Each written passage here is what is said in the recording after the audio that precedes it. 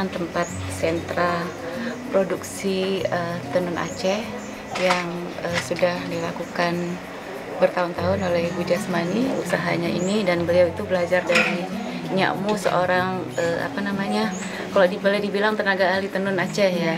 Dan uh, menurut saya uh, kerajinan ini harus dilestarikan karena memang kita ketahui uh, ciri khas uh, kain Aceh itu adalah songket ya bukan batik dan lain sebagainya tapi adalah songket dan uh, kita melihat dari tahun ke tahun minat dari masyarakat kita dalam menenun itu semakin berkurang. Nah, ini yang harus kita bisa mengajak masyarakat Aceh itu untuk terus mau melakukan kegiatan menenun ini.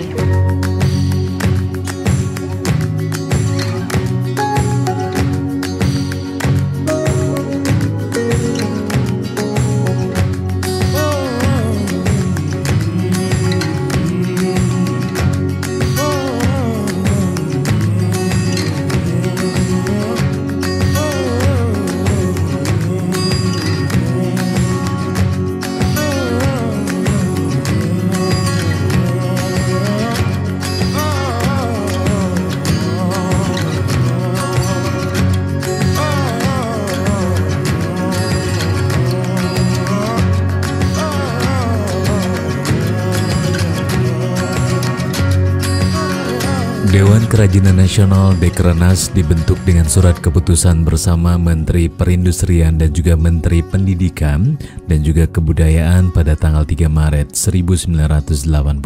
Misinya adalah melestarikan hasil kerajinan rakyat sebagai warisan budaya bangsa, memperluas kesempatan kerja dan juga meningkatkan nilai tambah dari hasil kerajinan untuk meningkatkan taraf hidup masyarakat.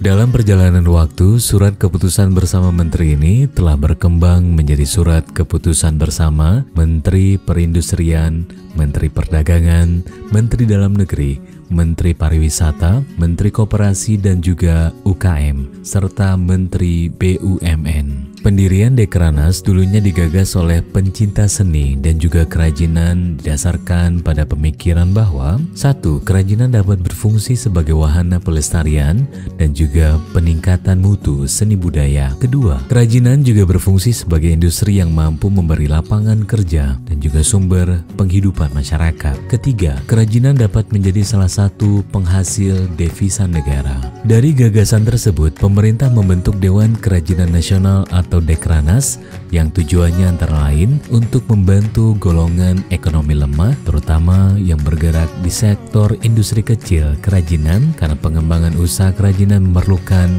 adanya kemitraan antara pengrajin dengan pemerintah, dengan pihak swasta, serta dengan organisasi yang berhubungan dengan usaha pengembangan kerajinan.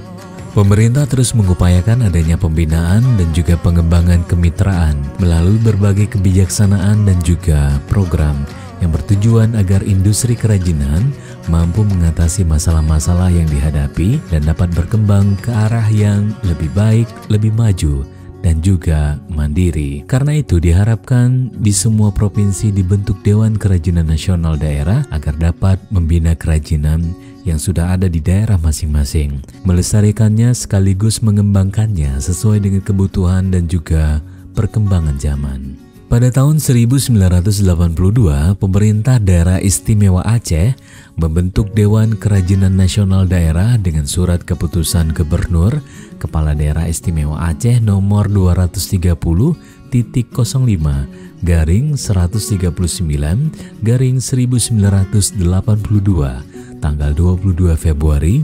1982 yang diketuai oleh Ibu Siti Mariam Hadi Tayyib sebagai Ketua Dekranasda Aceh yang pertama.